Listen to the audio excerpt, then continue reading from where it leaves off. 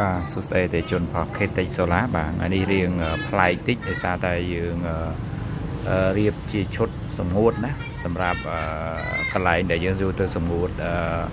វត្ថុធាតុដើមផ្សេងផ្សេងកសកម្មហ្នឹងដូចជាយើងអាចយកទៅសម្ងួតជាបន្លែផ្លែឈើស្រស់អញ្ចឹងណាដើម្បីយើងអាចរក្សាទុកវាបានយូរអញ្ចឹងឈុតនេះគឺឈុតសម្ងួតណាបងប្អូនណាតិចចាំខ្ញុំបញ្យល់ជាលម្អិតតើគេធ្វើយ៉ាងដូចម្ដេចណាបាទ អញ្ចឹងដំបូងឡើយយើងភ្ជាប់មកកុងតូលឺសិនបាទនេះគឺម៉ាក Super ដែលយើងធ្លាប់លក់ឲ្យជូនភ្ញៀវហ្នឹងចូលលក់ជូនភ្ញៀវរាល់ដងហ្នឹងគឺម៉ាកនេះឯងបាទម៉ាក Super នេះណាបាទហើយអាគុយនេះគឺជាអាគុយប្រភេទ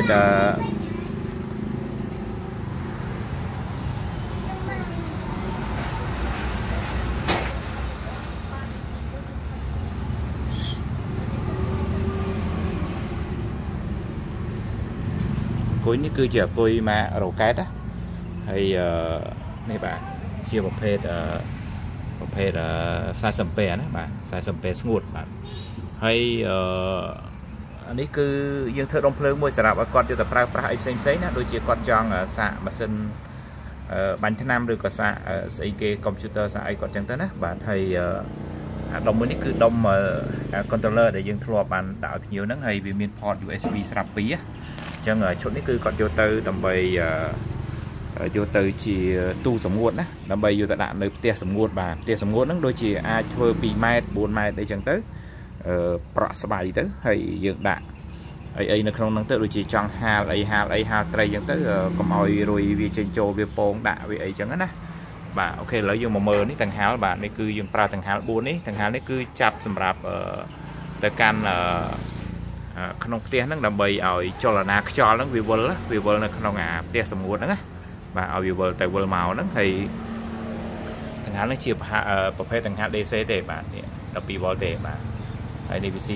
0.45 A ណាបាទអញ្ចឹងទៅដល់គាត់នឹងធ្វើខ្សែតទៅកាន់ក្បាលអគុយនេះបាទហើយគាត់នឹងចាប់វានៅពេលដែលគាត់ត្រូវការ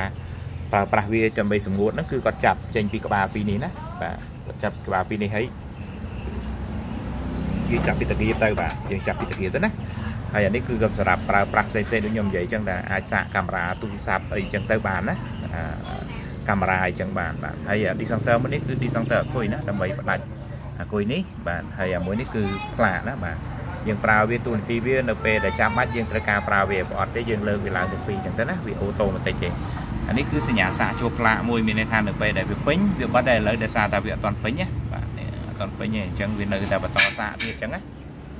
អូខេមានប៉ុណ្្នឹងឯងហើយភ្ជាប់ទៅជាមួយនឹងផ្លាកនោះបាទផ្លាកនោះគឺផ្លាក300សំទោសផ្លាក170វ៉ាត់ណាបាទភ្ជាប់ទៅជាមួយផ្លាកហ្នឹងហើយផ្លាកហ្នឹងដែរគឺជាប្រភេទផ្លាក